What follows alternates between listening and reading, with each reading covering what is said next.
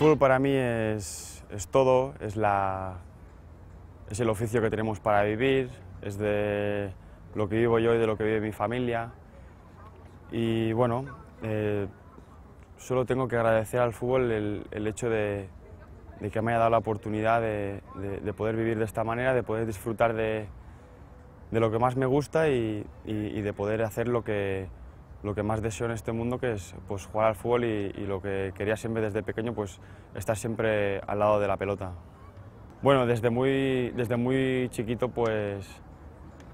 pues ya, ya empezabas a jugar con el balón, eh, ya, ya notabas que, que, el fútbol era,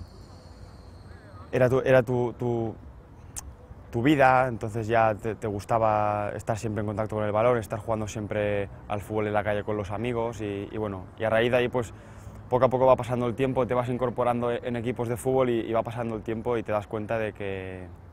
de que el fútbol es tu vida y que, y que, te quieres dedicar a esto. Bueno, al final todos hemos pasado por el street football, ¿no? porque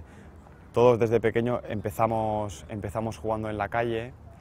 y, y, al final el jugar en la calle es esto, ¿no? es, el street football, ¿no? porque al final no tenemos campos de césped, tenemos eh, cemento, tenemos calles, tenemos balones sin porterías y al final el street football todos pasamos por ahí hasta que llegamos a,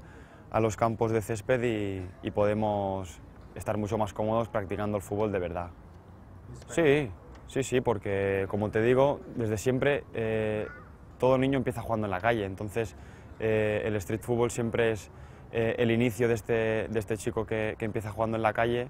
y luego se va adaptando a los campos de fútbol. Entonces, eh, para mí, el street football, cada vez que, veo a gente jugando en la calle, niños pequeños sobre todo, pues me, me da cierta alegría porque sé que, que es donde, donde ellos empiezan a, a, coger contacto con el balón y a saber si les gusta o no les gusta.